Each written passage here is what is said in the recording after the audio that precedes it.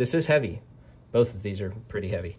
If you're trying to save weight and wanting to do something like this, get an Aimpoint T2 or a T1 or a Romeo 5 or whatever lightweight red dot option.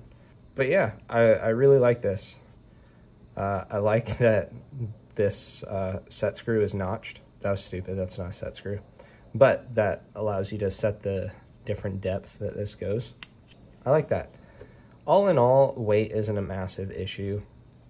If you're really struggling on weight, go work out. Because honestly, this is about, uh, I want to say it's about 11 ounces, a little over 11 ounces. And a Aimpoint T2 is like four.